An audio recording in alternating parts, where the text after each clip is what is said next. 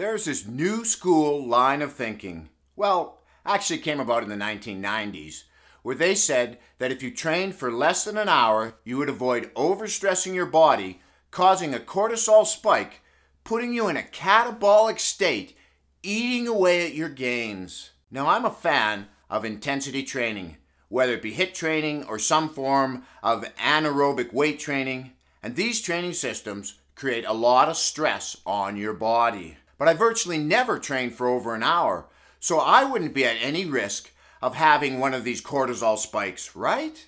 Wrong. Truth is, cortisol is released by the adrenal glands during periods of stress.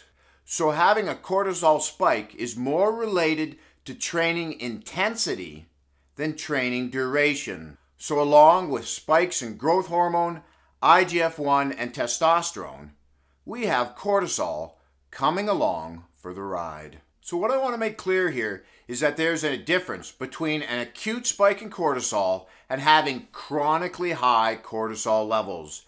And what we're talking about today is that cortisol spike that comes along with intense exercise.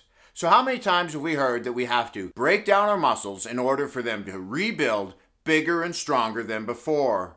Well, cortisol is part of that muscle breakdown rebuild process, sometimes called tissue remodeling. But what we want to make sure happens is that we're always in a state of positive muscle growth, with more new muscle being added than muscle being broken down. I'm going to put links to one article and one study in the description. And what I found interesting about the study, actually, I found two things super interesting about this study. Now, it was a study of untrained men and women, and over time, it was an eight week study over time, what they found is that even though these people had spikes in their cortisol during training, when they tested their cortisol at rest, their cortisol levels were lowering. So they were experiencing overall lower cortisol levels.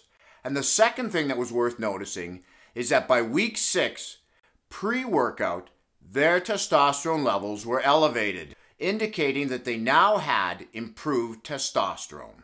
The article references a study on intra workout nutrition. Now, if you're eating both pre and post workout, there's certainly no reason for you to be taking calories in during your training session, as the food that you eat pre workout will fuel your training session. But it does help to drive home the point the type of calories we should be taking in pre workout in order to minimize the damage done by these cortisol spikes and maximize the muscle building gains for our training session. Now, it was a 12 week study, and what they did is they broke the subjects into four groups. The first group was the placebo group, and they were given water to drink. The second group was given carbohydrates, and the third group was given essential amino acids, which, when we're talking whole foods, we're talking protein. And the fourth group was given a combination of carbohydrates and essential amino acids. Over the 12 weeks of the study, all four groups gained new muscle mass, with the group having the water intra workout gaining the least, and the group having the combination of carbohydrates and proteins gaining the most. Now, when it came to cortisol, the highest cortisol spikes were again with the placebo group, and the lowest actually was with the two groups that had the carbohydrates. And the theory behind this is that cortisol converts non carbohydrate sources into glucose for energy like our muscle mass. But it's a lot easier for our body to convert carbohydrate sources into glucose.